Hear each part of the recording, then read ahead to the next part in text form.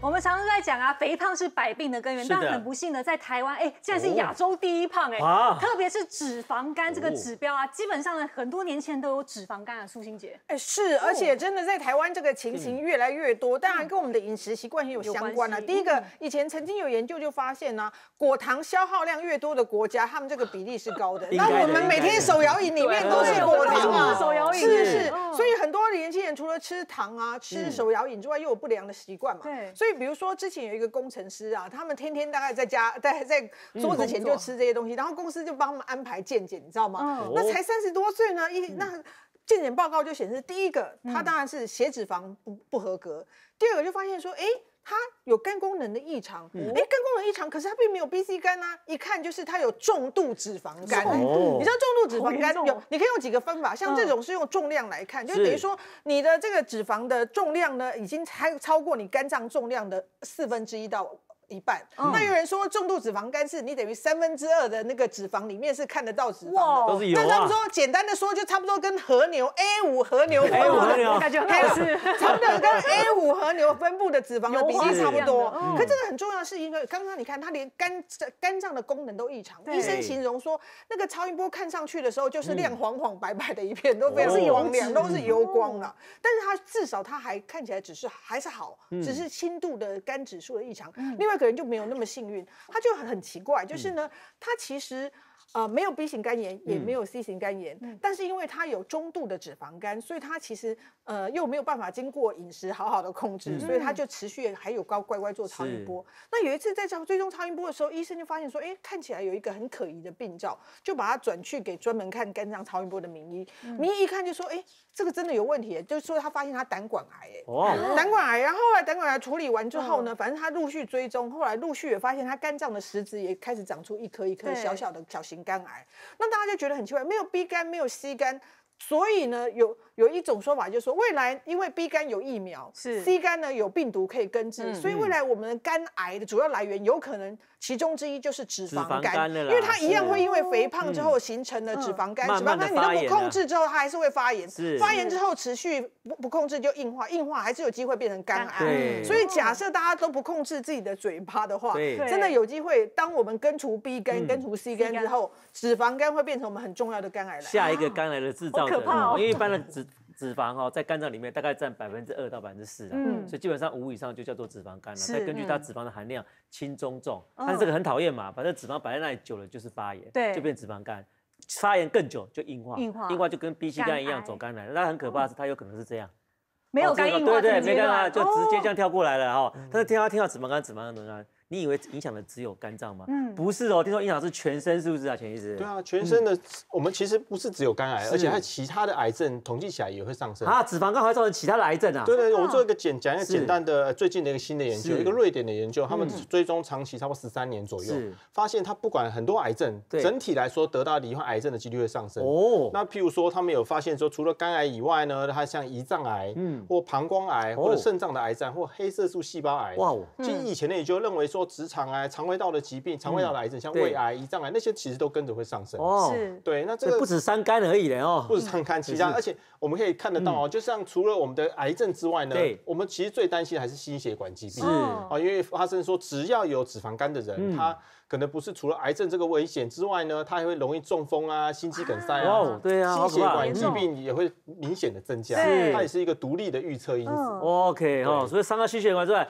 又容易得癌症，而且这些那个废物如果跑到脑里面，还会造成你提早失智啊，真的很惨的哦。我们知道消除脂肪肝最有效方法就是去减重啦，对但是如果不当的减重或是太快速的减重，反而会造成你脂肪肝上升啊。对，我听说一个案例哈，其实我真的觉得大家可能在减重的时候需要有一个节奏，不要急哈，你不要哦觉得我为了要瘦十公斤，我下个月就要十公斤，通常它一定会带来一定程度的后果是。那个是一个女孩子哦，这个女孩子她其实就是一个年轻女生，嗯就决定要减重，但是她就觉得要立刻瘦，所以她当时就做了一些她自己觉得很极端的方法，第一个说节食，例如说他吃没有主食，就是没有我们一般的淀粉，他完全不碰。哇，那他不吃油脂，所以其实你可以想象到他就是吃很呃低油脂的蛋白质哈，或者是吃蔬菜类。那确实他的减重的路程很顺利，可是，在那段时间后，因为他们全办公室就会一起做一些健检，他的健检报告就发现他中度脂肪肝，然后他就跟其他朋友讲，因为他他自己是嘛，他就跟其他的朋友说，他其他朋友说，哎，怎么会？我们每一个加入这个无主食减重行列的人，竟然每一个人都好像在肝的这个超音波上出了一点点问题。是。那至于它到底是什么原因呢？我们必须还是得说一下，脂肪肝它最好的方法就是减重。好，但是呢，我们我们讲一个算是科学上的现象哈，就是我们我们有时候会有这个血糖指数高，甚至到糖尿病，有时候我们就会用药物，甚至用减重的方式让它血糖下降。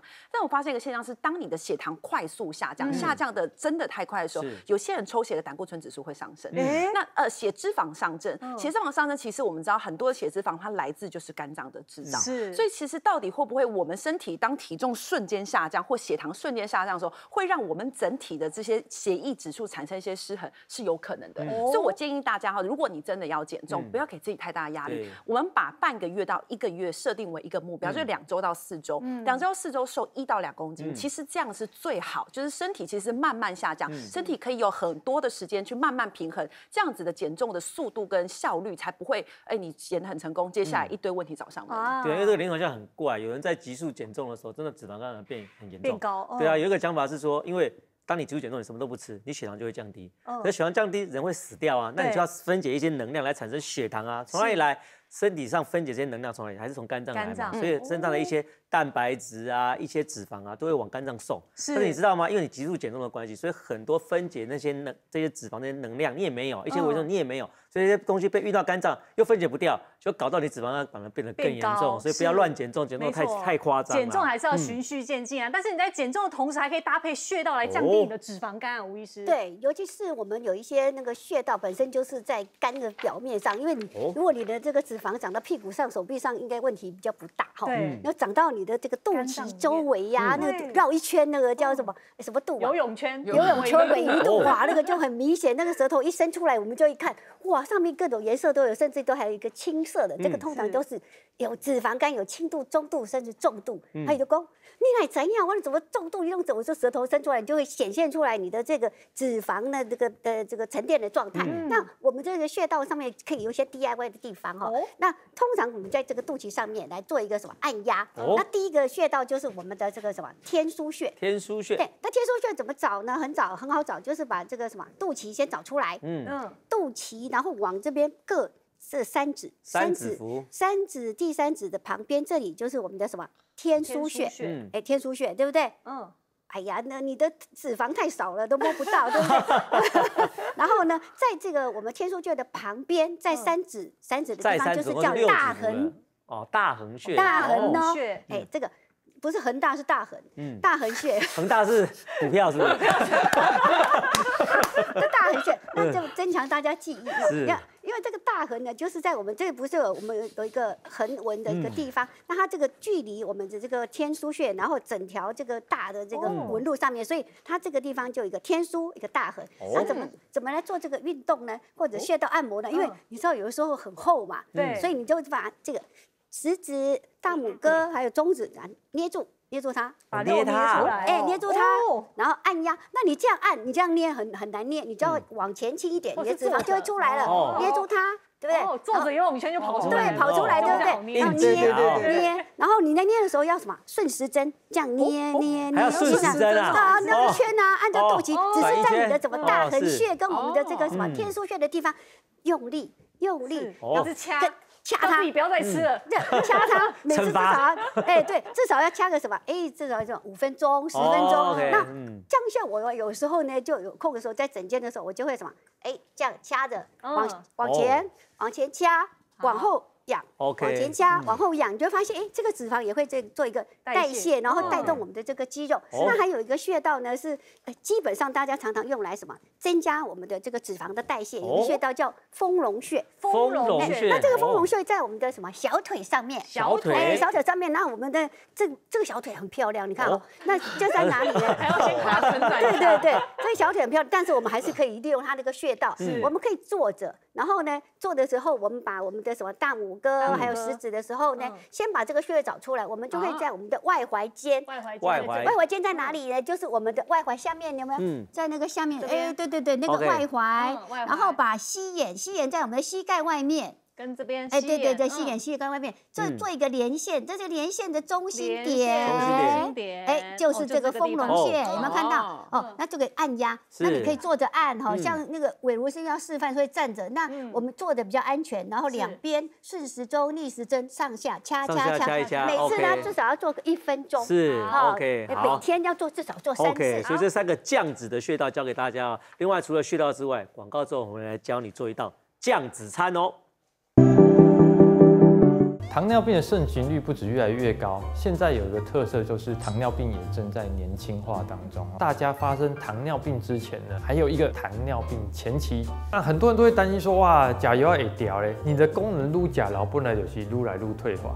那你说我有没有可能说我一开始有吃药，后来就停药？哎，当然有可能。事实上，这样的例子非常非常多。一旦发生低血糖的时候，哦，其实没有非常建议去买巧克力来当做低血糖的补充品。